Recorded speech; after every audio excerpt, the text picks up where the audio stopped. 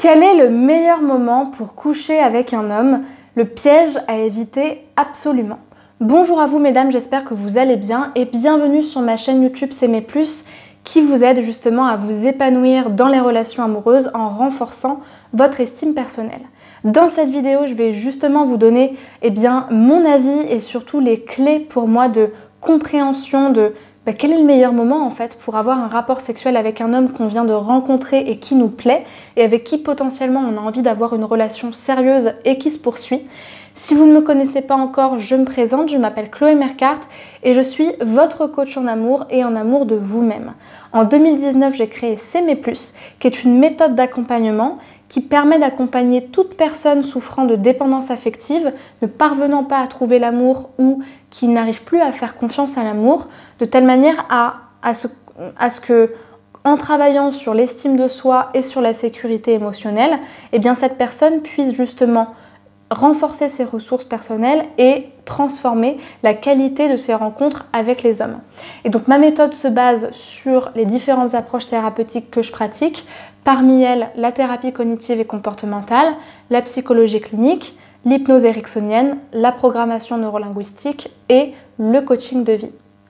Si vous n'êtes pas encore abonné à la chaîne, je vous invite à le faire dès à présent en cliquant sur le bouton rouge s'abonner en bas à droite de la vidéo et à cliquer également sur la cloche des notifications pour recevoir une nouvelle vidéo tous les matins à 8h.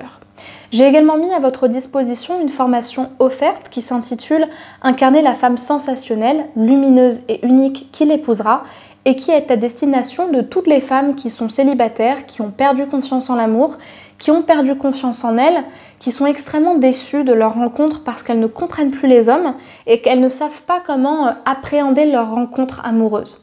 Dans cette formation, je vous guide en fait à travers ma pédagogie justement euh, sur l'estime de soi et l'intelligence émotionnelle à travers des outils des exercices et des clés de compréhension, de telle manière à renforcer l'estime de soi et à renforcer la confiance en l'amour. Donc c'est un premier pas, un premier cheminement que vous pouvez faire gratuitement en allant dans la description de la vidéo, en cliquant sur le lien qui correspond à la formation, en vous inscrivant et ensuite vous retrouverez la vidéo dans votre boîte mail. Voilà pour cette présentation, on va tout de suite passer au début de la vidéo et je vais vous expliquer justement quel est le meilleur moment selon moi pour coucher avec un homme. C'est tout de suite. Alors si vous vous retrouvez dans cette situation aujourd'hui, c'est que très probablement vous êtes en dilemme total. Euh, il y a peut-être une partie de vous qui se dit j'ai énormément envie de coucher avec cet homme-là, ou alors cet homme-là me, me, met la pression ou en tout cas me suggère très fortement d'avoir un rapport avec lui et je ne sais pas si j'en ai envie. Et donc dans ce cas-là, il y a déjà une question sur est-ce que je le fais, est-ce que je le fais pas. Et de l'autre côté, il y a cette partie de vous qui est peut-être inspirée de toute cette pensée un peu... Euh, euh, je ne sais pas si c'est judéo-chrétienne, mais en tout cas comme quoi une femme qui couche le premier soir, ce serait une femme légère, une femme facile, et comme quoi une femme qui couche tout de suite, c'est une femme acquise qu'on ne reverra pas, qui quelque part crée de la culpabilité aussi et de la peur que, ouais mais est-ce que si je couche tout de suite avec lui, il va vouloir me revoir, et puis en même temps, est-ce que si je ne couche pas tout de suite avec lui et que je le fais attendre, il va vouloir me revoir? Donc ça crée énormément de frustration, énormément de questions, énormément de, de stress à l'intérieur de soi en tant que femme, et pourtant, moi je trouve que quand on se pose trop certaines questions, ça peut avoir des risques très importants.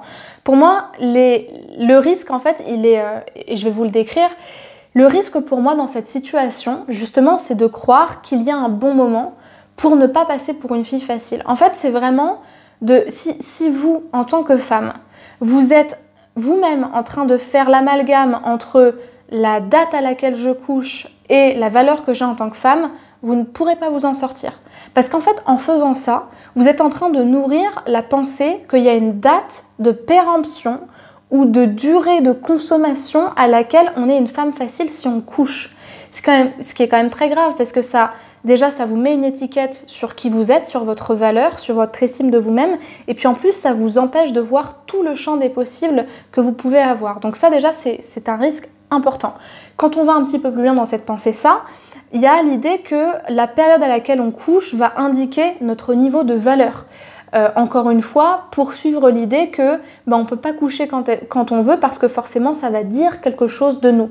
Et enfin, quand on pousse le trait encore plus loin, c'est croire que le sexe séduit ou garde un homme. Bah oui, parce que qu'en fait, quand on pense que parce qu'on couche à une telle date dans une relation, on va séduire ou garder un homme, écœurer un homme, le dégoûter, le faire fuir, c'est bien qu'à un moment donné, on considère le sexe non pas juste comme du sexe et comme du plaisir, mais comme une arme de séduction à tourner vers nous ou à tourner vers l'autre. Ce qui encore une fois est grave parce que ça peut nous pousser à vouloir inconsciemment hein, manipuler aussi l'autre personne en se disant bon bah je vais pas le faire comme ça non parce qu'en fait si je la joue comme ça à telle date ça va se donner ça et on est complètement en train de se faire des films alors qu'en fait il s'agit simplement de passer un moment avec l'autre. C'est un réel problème d'en arriver à ce genre de, conclusion parce que non seulement ça vous empêche de réfléchir en termes de désir, en termes de plaisir sexuel, ça vous empêche d'être libre et en plus de ça, pour les femmes qui auraient peur de décevoir les hommes, ça peut créer des abus sexuels, des abus de pouvoir, des jeux de manipulation entre l'homme et la femme et avoir des conséquences dramatiques sur l'estime de soi. Je sais que je vais être bateau et je sais que je vais pas plaire à certaines, mais je vous le dis quand même.